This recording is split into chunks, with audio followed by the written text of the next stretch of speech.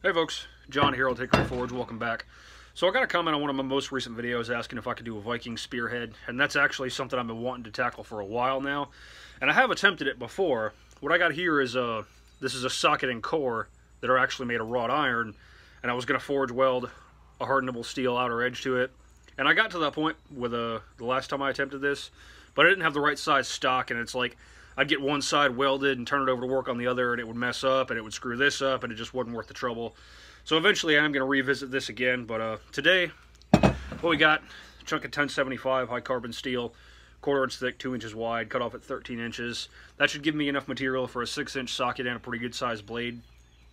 The term Viking spear is actually kind of a misnomer because spears of the Viking era, or not of the Viking era, but of the Viking you know, region are pretty much indistinguishable from other spears of the time period. They're pretty much the same. So, uh, you know, you can call it a Viking spear if you want to, but the spear was the most common weapon throughout history because it was easy to make, easy to use. Anybody can use a spear effectively. You don't have to be a trained soldier or a professional to know that sticking with the pointy end. So, anyway, that's what we got going on, so stick around. First things first, I've got a center punch mark at six inches. Just gonna chuck this thing up in my guillotine tool isolate the material that we're gonna form into the socket. Nothing to it really. Next step in forming the socket now that we've got our material isolated is just to start working on the flat of the anvil. You can use the horn as well if you're in a hurry, but there's really not much need to. And we're trying to forge this out into kind of a fan shape type deal. So, just a long reverse taper. Nothing to it really. So, once you got your fan shape, you want to go ahead and take a cross peen and start spreading the material out widthwise. I've learned from my trial and errors in spear making, you need about four inches of width to be able to roll it around into a one inch socket. So it's smart to use a cross peen, convert as much of that mass into width as you can. The wider and thinner this gets, the faster you're going to lose heat because there's more surface area in contact with the anvil. So it's kind of slow going, but you'll be okay. So, to start forming the socket of the spear, I'm just going to use a half round swage on my small swage block. If you don't have one of these, this can just as easily be done over the jaws of your vise, but I have one, so I'm going to use it.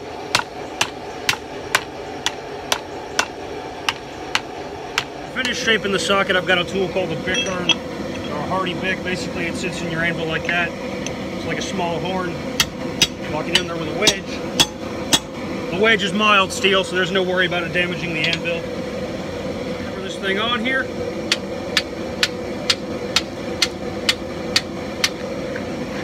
And start forming that socket. So I've got the socket formed to where we have a pretty good overlap most of the way up. Looking back, I probably could have used a little more material up near the top, but you live, you learn. So next thing I'm gonna do is try to forge weld this thing. So now it's time to try to forge weld the socket. This is a difficult weld to pull off for two reasons.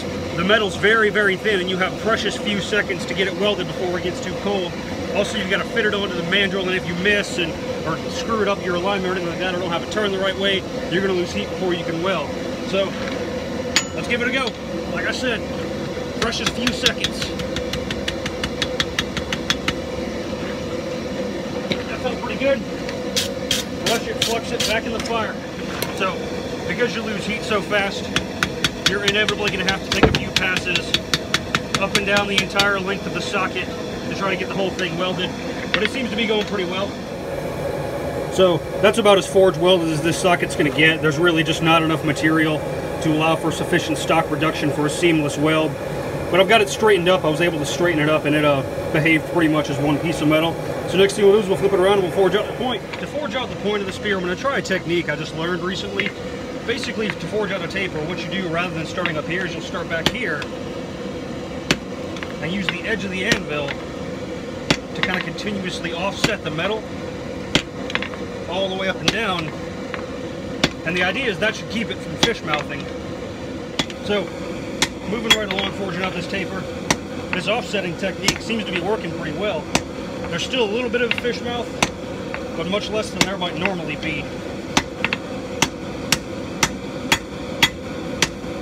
So I'm just keeping at it. I'm gonna cheat and cut off the fish mouthing. Judge me if you want to.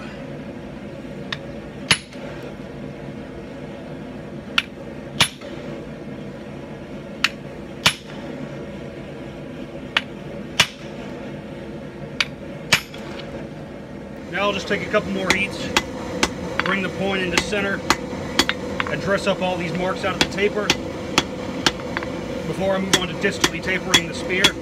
Just like a sword, it needs to be distally tapered from the socket to the point to make sure it's well balanced. So that's what's gonna happen next. This is where my straight peen is gonna come in handy.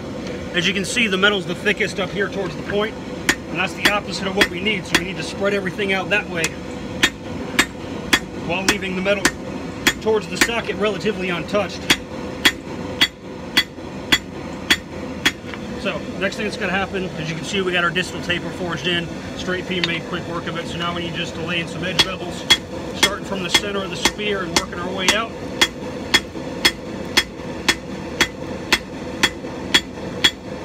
And of course, working both sides. I figured this was a good opportunity to demonstrate watering the anvil. It's a technique you can use when you're getting close to being done forging bevels because it blasts the scale off, you don't have to brush it. I think the first comment I got about it was uh, on one of my sword videos. I didn't do it with that because it's 5160. 5160 hates water. With 1075 though, it shouldn't be a problem. So all you do is wet your anvil real good, piece on it, it creates a steam jacket. And it makes an impressive sound when you strike it and it blasts the scale off. It's the same effect as brushing it, but you don't actually have to stop to brush it. Just a cool little technique. So here's the spearhead after rough forging. Forge welded didn't pretty, but it's solid. Socket's good and round. It's good and centered. We got a good profile to work with. So next thing we'll do is get the profile roughed out, get the bevels ground in. We'll heat treat this baby. So here's the spear out of the forge. It's pretty good size. All I'm going to do now is grind in two flats, leaving a nice thick central ridge. Bring these cutting edges down nice and thin. I'm going to go ahead and bring them to their finished thickness now because I want a brushed finish on the spearhead once it's done. And if I have to grind on it after heat treat, I'm not going to be able to get that. There's no definitive answer of whether or not spearheads actually would have been heat treated because they didn't really need to hold an edge. All they were really used for was thrusting. And, uh, you know, they were meant to be mass produced quickly. But there are historical accounts of spears being used for slashing and cutting. So I'm going to go ahead and heat treat this. And, you know, nothing dull comes out of my shop. So I'm going to make this thing razor sharp. And uh, there's not a whole hell of a lot of work to do. So I'm just going to get on that. I'm going to start shaping out the shaft as well. This is just a poplar dowel cut off at 7 feet. Poplar's not a great wood for a spear shaft, but uh, it's all I could get my hands on locally, readily available. And it's not too much of a stretch to think that in the field, whatever wood was at hand would have been used for spear shafts, whatever they could get their hands on. But I'm going to trim this thing down to about an inch in diameter. Right now it's an inch and 3 eighths, which is too thick. Historically, anything over an inch was uncommon. On modern spears, you actually see shafts of inch and a quarter, inch and a half that are used for hunting boar or anything like that. But, you know, killing people is a lot easier than killing boar, so a one-inch shaft will suffice. So I'm gonna get all that fitted up and everything before heat treating. Uh, we'll uh, we'll rock and roll on this baby.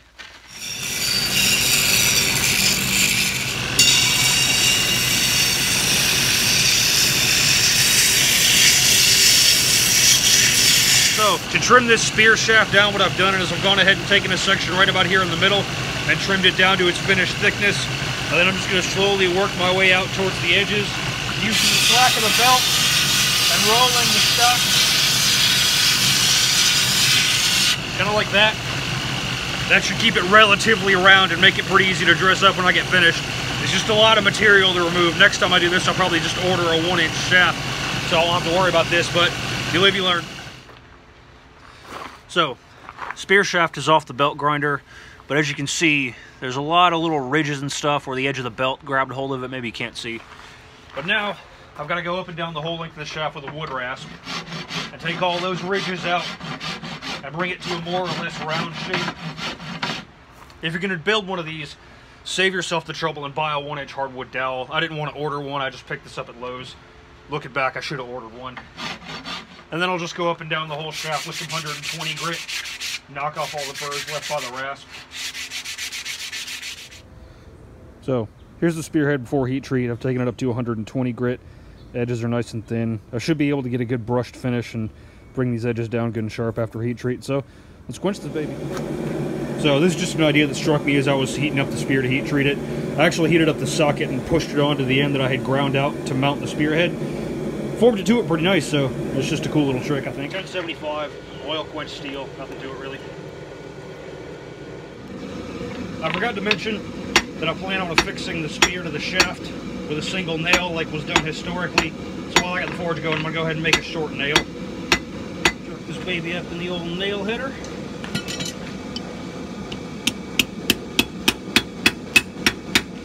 And there you go, there's our nail. So she came out of the quench pretty clean. She's straight, no cracks. Hardened well. And it blasted off enough of the scale to where I can see enough metal to temper it. So I'm just going to take my torch and start heating up the center. I want kind of a dark brown over the whole spear. I want it to be good and flexible.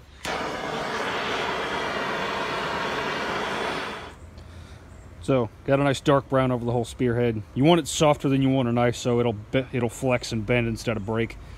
All that's left to do now is uh, wire wheel this thing clean, get it sharp, and get it mounted.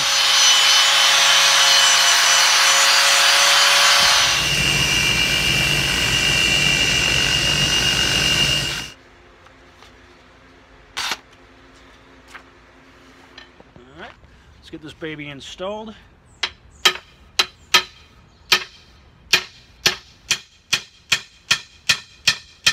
Now I'm going to char and oil the handle just for aesthetics.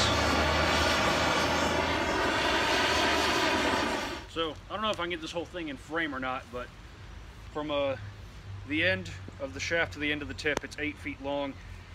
I put a kind of a stout point on the back end, so say if we stop and we decide we're going to set up camp, I can just stick it in the ground, good to go. Or say if there's a horse coming at me or something, I could stick this end in the ground to get a little bit of better purchase on it. But, there you go. I wanted kind of the brushed metal look, so it looks kind of rough. Got my nail in. My shaft actually split a little bit when I put the nail in. So, I mean, which is to be expected to some degree. These were shafts were a consumable item, so I'm not too worried about it. I plan on replacing this one anyway. But anyway, let's give it a throw. All right. Never done this before. I don't really know how to throw a spear. I'm just gonna kind of give it a go. Well, shaft didn't break. Things stuck in pretty deep, went to about there. It's kind of cool. So there you go. One eight foot Viking spear. Kind of hard to get the whole thing in frame, but made a 1075 high carbon steel, assembled with a single hand forged nail. You just want to use one nail because if you rivet this to it and it breaks, you're not really going to be able to get the wood out of the shaft. And uh, there's actually historical accounts of people pulling the nails out of their spears and then throwing them so uh, the enemy couldn't pick it up and throw it back. You know, when you go to pull it out of somebody, shaft is just going to come loose.